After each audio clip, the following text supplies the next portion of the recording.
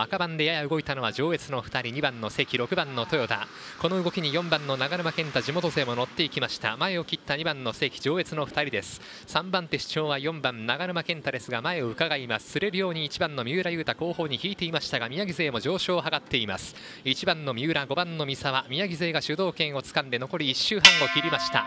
3番手の位置から外目から4番長沼の発進8番の鈴木雄一郎。さあ回りきれるかどうか。1番の三浦が阻んでいる。1番の三浦5番の三沢康人宮城勢に3番手にはまる格好ですがこの間にぐんと外から3番今野俊明と7番遠藤克之の発進残り1周切りました。3番手となった4番の長沼です。1番の三浦優太が4番手から巻き返す展開ですが前は3番の今野。7番の遠藤克之南関東勢が先頭2番手で最終バックを通過しました。3番手は4番の長沼健太懸命の粘り腰。1番の三浦優太が4番手から3番手を伺う。先頭は独走3番の今野と7番遠藤克之南関東勢。3着争いは1番の三浦優太か。先頭3番今野俊明ゴールイン2着は7番遠藤克之